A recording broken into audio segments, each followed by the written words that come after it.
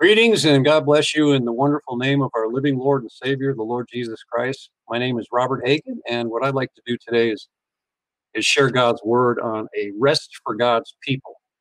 And, uh, you have to admit that these troubled times that we're living in, with uh, the way things are going on in the world with the COVID nineteen virus and uh, protests and all kinds of different things going on that are negative in the world to stand as a uh, son and daughter of the living God, to walk forth boldly as a Christian in this day and time is not an easy thing to do.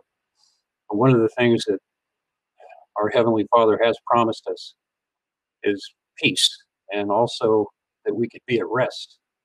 And when everything seems to be going down the drain around you and things are going to pot everywhere you turn, you're going to be able to have an anchor to where people are going to come to you and they're going to wonder why you can stay so calm in the midst of a storm. What comes to mind is Jesus on the on the ship crossing the Sea of Galilee with all his disciples, and there was a storm that came up, and he what was he doing? He was sleeping on the on a pillow.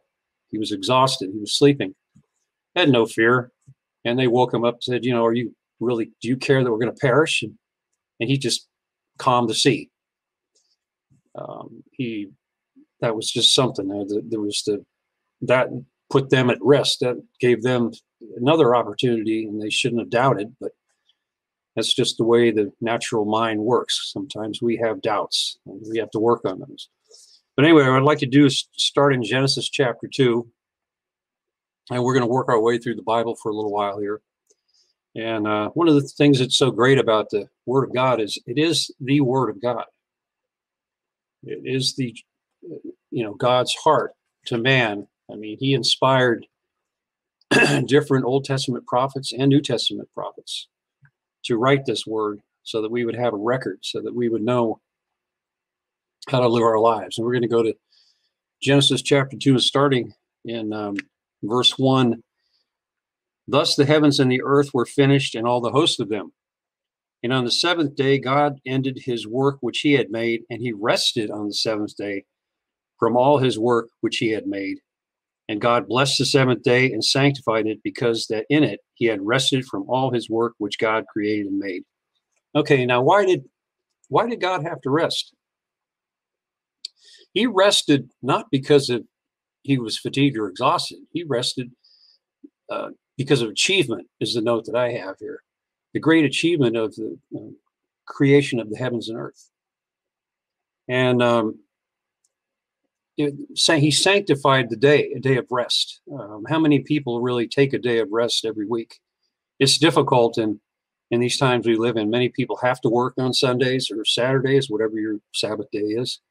Um, many people have um, always set that day aside as being a day where they wouldn't work. In fact, if we go back in the history of baseball, and there are probably a lot of people that know baseball out there, but there was a pitcher for the Los Angeles Dodgers back in the day by the name of Sandy Koufax, one of the great left, greatest left-handed pitchers I ever saw throw the ball.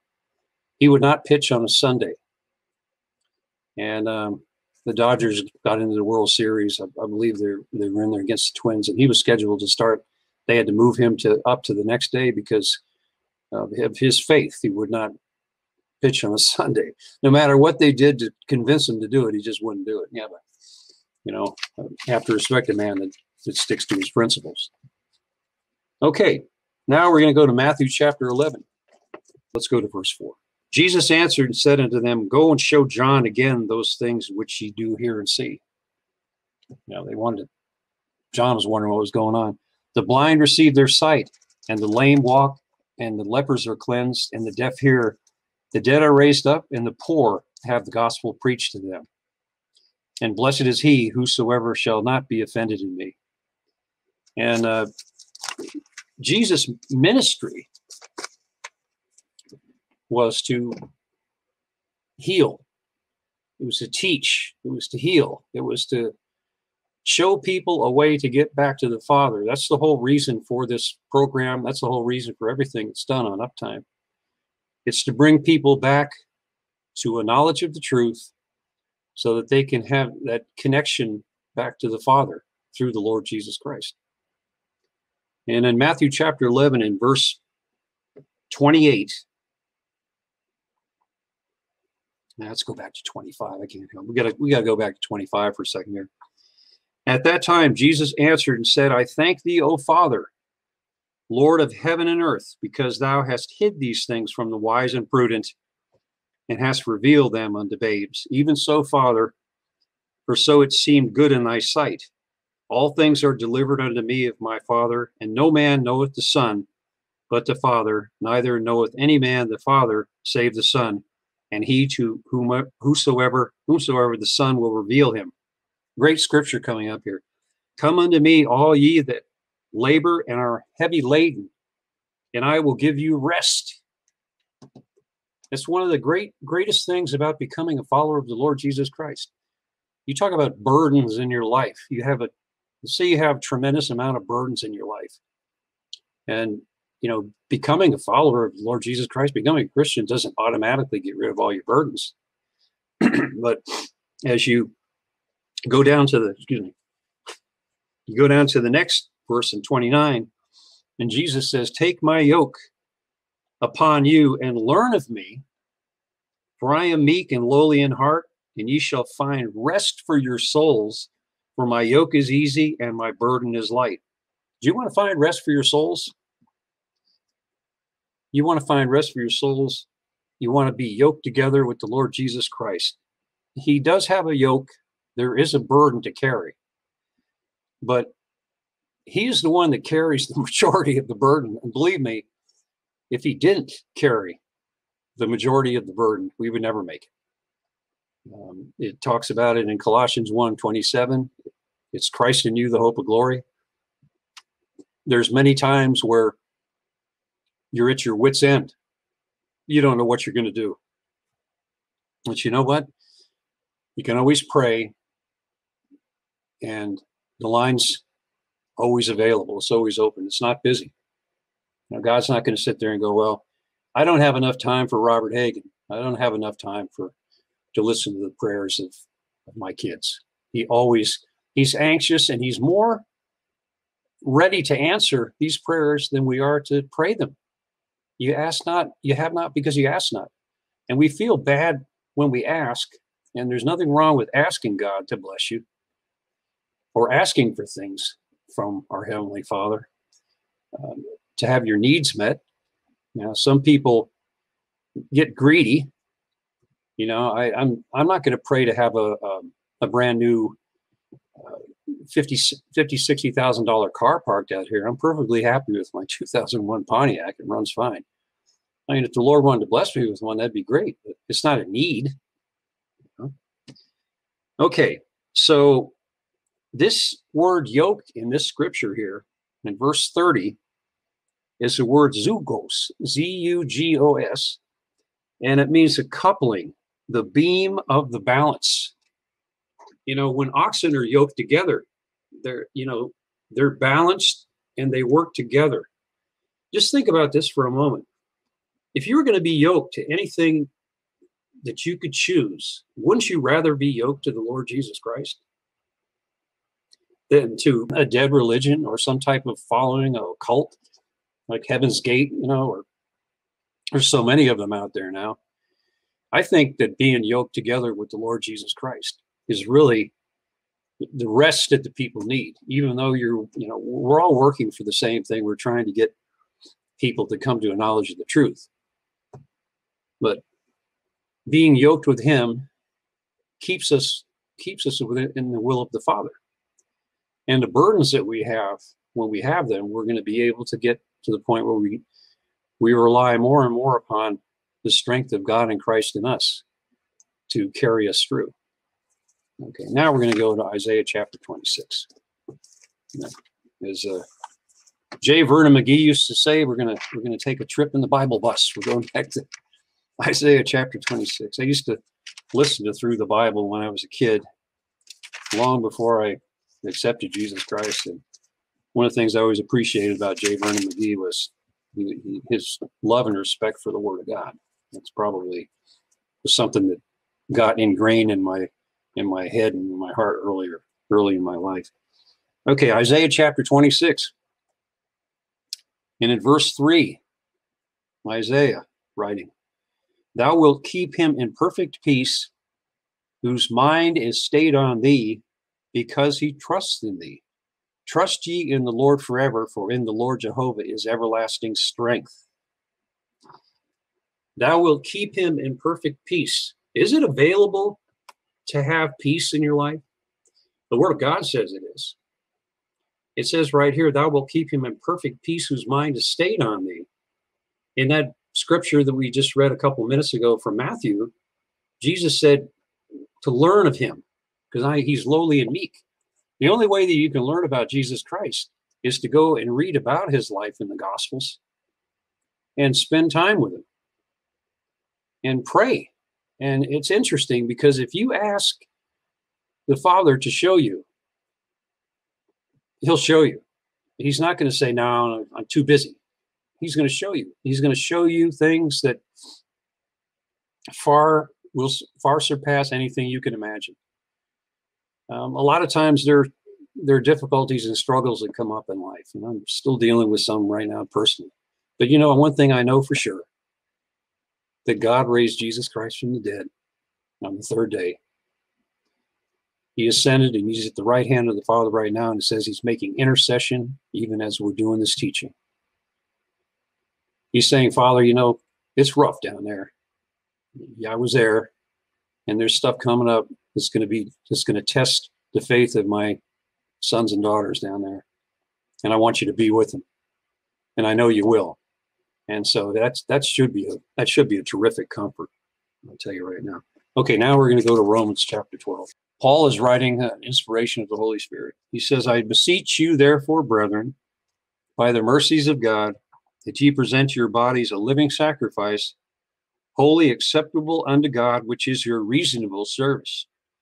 And be not conformed to this world, but be ye transformed by the renewing of your mind, that you may prove what's that good and acceptable and perfect will of God. For I say, through the grace given unto me to every man that is among you, not to think of himself more highly that he ought to think, but to think soberly according as God had dealt to every man the measure of faith. It says right here that we're not to be conformed to the world, but be transformed by the renewing of your mind. When you become a follower of the Lord Jesus Christ, you still have the same mind. Now, there's ways of renewing your mind, and the best way I know is to study God's Word. And it's not just sit there with a bunch of research books. Sometimes you just get in and you just start reading the Gospels. And as you read the Gospels, God will give you the understanding. And He'll show you what is that good and acceptable and perfect will of God. It, he'll show you what it is, and you'll know. Uh, it's the spirit of, of God and Christ in you. You'll just know. There's there's times when you'll have a thought. Maybe you're in traffic and you're driving along and there's nothing anywhere to be seen. And you you're going to change lanes. This happened to me when I was a truck driver.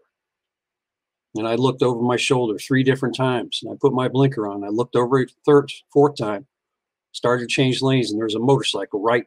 I mean, I would have run right over the top of the guy. He, you know, honked at me, and I had the thought to look again, and I didn't. And I believe that was the father saying, Bob, one more time. And after that, I was real careful with that. It's just that, you know, why why doesn't he care about everything in our lives? He does. He cares about everything in our lives. It's not just us going to you know having a church service on a sunday morning or doing some things midweek it's uh, 24 hours a day seven days a week that god is concerned about you and me and if there's somebody that's that's listening out there right now that's wondering you know how can my life be such a mess right now no matter what's going on in it you can certainly stop and you can ask the Father to show you a way into His love, into into His peace and His rest, and He'll do it. And all you have to do is ask Him. And God's not stingy. And He's not going to look at you and say, no, you need to clean your act up before you're going to be acceptable. Because Jesus Christ is the one that came to live His life that we might have more abundant life. And He came to give His life. All the sin, all that stuff, He said on the cross, it is finished as far as God and Christ is concerned. The redemption is done. It's just a matter of accepting it. And if you do that, you're gonna you'll have a new life. You know, old things will pass away, but it it's not something that you you're gonna pray one minute and then the next minute everything's going to be perfect. Anybody that's on these programs, uh, if you listen on Sunday afternoon or you listen during the week or you listen to the uh, what Vanessa's been doing, everybody has a story, and a lot of the stories are really, you know, you wonder how how he was able to become a believer. God had a plan, has a plan for all of us, and why not team up with the creator of the heavens and the earth and see what he's got planned for you? I mean, I sometimes I I just am so fascinated that he would that he even kept me alive as many years as I've been alive through the things that I've done. And I just, I praise him. I'm, I'm so thankful to the Father. I'm thankful to the Lord Jesus Christ. Uh, and I'm thankful to have brothers and sisters who are endeavoring to teach his word to the best of their ability and to, um, as we were talking about this before we started recording, I was just a little discombobulated about what I was going to do today. But as I start sharing the word of God, it just seems like thoughts come to you about the nature the nature of God is love and peace and joy and being meek. It doesn't mean being weak. Meekness does not mean weakness. Meekness is uh, is coachability. You know, if you're a coach of a team, you you want to have your guys. You don't want them weak, but you want to be able to coach them. You want them to learn. I had the opportunity to coach the Pee Wee basketball my brother when I was younger, we had a ball. I mean, these kids are so fun. They got so much enthusiasm, but they were all just sponges to learn. I don't know how much they learned from us, but we had a lot of fun with them. That was kind of neat. Okay, now let's go to um, Romans chapter 10 one of the one of the great sections of God's Word. The book of Romans, if you when you start reading the book of Romans, it's interesting. Paul wrote this, and and there's there's so much in the book of Romans. Romans chapter 10, and uh, I'm going to start off in verse 8. But what saith it? The word is nigh thee, even in thy mouth and in thy heart. That is the word of faith which we preach. And Paul certainly did a job with that during his ministry. That's what we're doing, endeavoring to do right now. We're endeavoring to preach the word of God. Verse 9 that if thou shalt confess with thy mouth the Lord Jesus, and shalt believe in thine heart that God hath raised him from the dead, thou shalt be saved. For with the heart man believes unto righteousness, and with the mouth confession is made unto salvation. For the scripture saith, Whosoever believeth on him shall not be ashamed. For there is no difference between the Jew and the Greek, for the same Lord over all is rich unto all that call upon him. And whosoever, for whosoever shall call upon the name of the Lord shall be saved. Okay, you're sitting at home, you're watching this, and you're saying, I'm just, I'm too bad to be saved. You know, I've lived too I've lived too rough a life. I've done too many things wrong. I've sinned. I've done this and done that. Word of God says, if you confess with your mouth the Lord Jesus and believe that God raised from the dead, thou shalt be saved. You're changing lordships. Up to this point, Robert Hagen has been the Lord of his life. And all of a sudden, that, that day back in, I believe it's 73, I said, I can't hack this anymore. I need to change lords. And when I did, things started to turn. And people out there really need to know that it's available. And I, and I'm, what I'm trying to do is get back to the rest for God's people. But if you if you're in turmoil and you're you're without God and without hope in the world, the best thing you can do right now is to pray to God. Um, just go to Him and say, you know, Father, I I need you. I need your Son, the Lord Jesus Christ, in my life. And um, I know that I haven't done a very good job with my life, but I want to lean on you. I want to trust in you with all my heart and lean not to my own understanding. And he'll start to show you stuff. We can all attest to that. I'm certain there's testimony upon testimony of things happening. I've got one, and I'm sure everybody else does too. But it's very important that you take the first step. And I believe the first step is to you know, get off your own case long enough to realize that God knows every one of your needs. He knows everything you've done in your life. And he's just waiting. He's like the prodigal, you know, the story of the um, prodigal son, or what I like to call the forgiving father, which is something I like to teach on one of these days too. And every day the father went out there waiting for his son in the Eastern culture, uh, people don't run. You know, it, it, wasn't part of the culture for the father to run, you know, see his son coming and run and hug him and everything. But his father never stopped. Think about this for a second. His father never wavered in his belief that his son was going to return. And I really believe that this is the way God is there's a lot of people out there that need to return, and God is waiting for them. He, he's waiting for you, just like he was waiting for me. And he's going to run and throw his arms around you because that's how much he loves you. And it's not it's not some kind of religious trip. This is the truth. The truth of God's word. And when you think about that, that son, he didn't he didn't even want to be called a son anymore. He said, just make me as one of thy servants, Father. And that father said to him, No, no, you're my son. You were dead, but you've returned. Now you're alive. It, it's one of the most amazing stories. If you if you get into, I believe it's in Luke, and you read it and you put yourself in the position of that son thinking oh, i'm going to go home and I'm, i just want to be a servant. Maybe i can you know he'll forgive me for messing up taking all my money and taking off. But no he was waiting for him and he went out and when he saw him coming he was so blessed.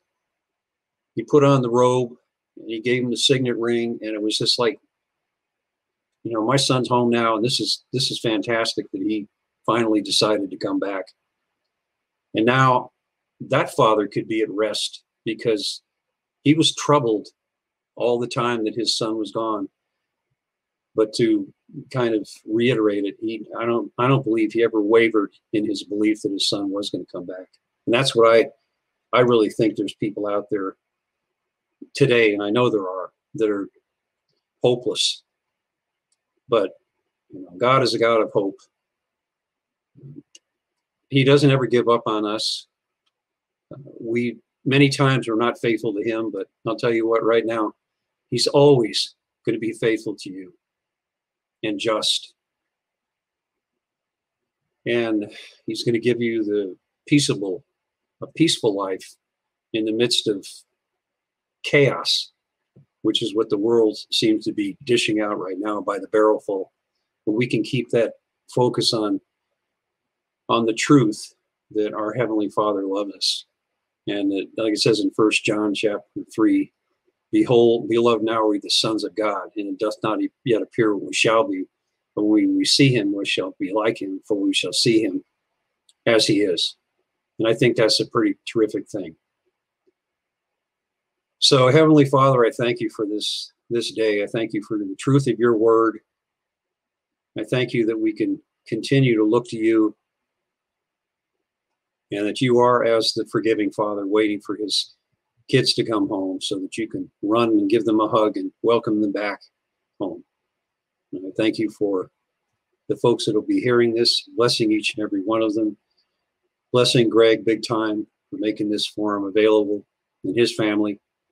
And I thank you for these things in the name of Jesus Christ. Amen.